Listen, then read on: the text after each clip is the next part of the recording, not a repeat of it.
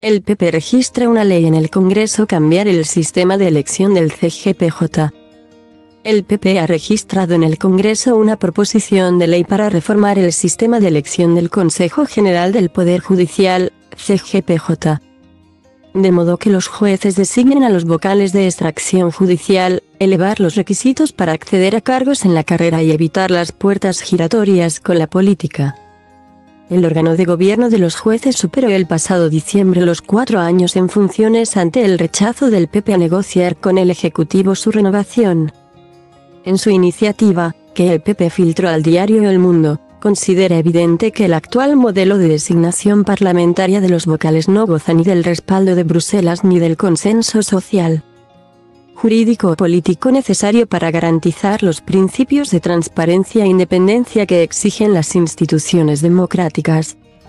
A su juicio, urge un nuevo consenso que fortalezca los pilares democráticos.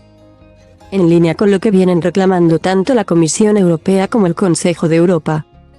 Plantea así que los 12 vocales de extracción judicial sean elegidos por los jueces y magistrados, el Congreso y el Senado seguirían eligiendo a los ocho vocales del turno de jurista por mayoría de tres quintos.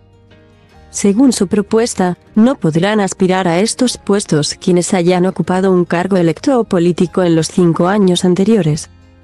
La secretaria general del PP, Cuica Gamarra, afirmó en un mitin en Logroño que el objetivo es proteger al poder judicial de políticos como Pedro Sánchez para fortalecer la independencia del Poder Judicial y mejorar la confianza de los ciudadanos.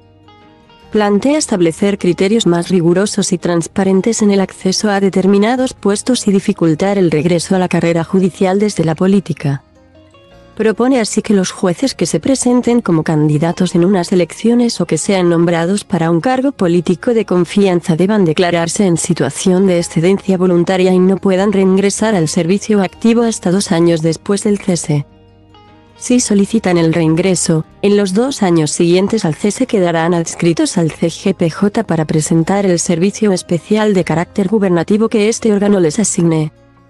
La iniciativa de los populares refuerza también las mayorías dentro del CGPJ a la hora de elegir distintos cargos judiciales, exigiendo el apoyo de tres quintos de los vocales.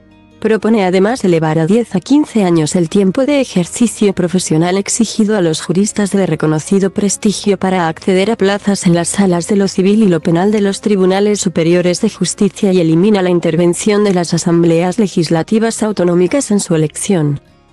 En el caso del Supremo, pide que los magistrados cuenten con al menos 20 años en la carrera. La última ruptura a finales del pasado mes de octubre, el PP volvió a romper un acuerdo que estaba prácticamente cerrado con el gobierno para renovar el CGPJ al rechazar los planes de la Moncloa para reformar el delito de sedición.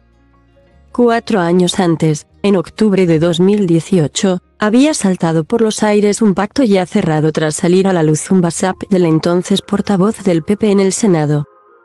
Ignacio Cosido, en el que hablaba de controlar la sala de lo penal del Supremo por detrás. Poco después el PP planteó una reforma del sistema de elección de los vocales del CGPJ similar a la registrada este martes pero la mayoría del Congreso rechazó la propuesta y defendió el actual sistema de elección a través del Parlamento.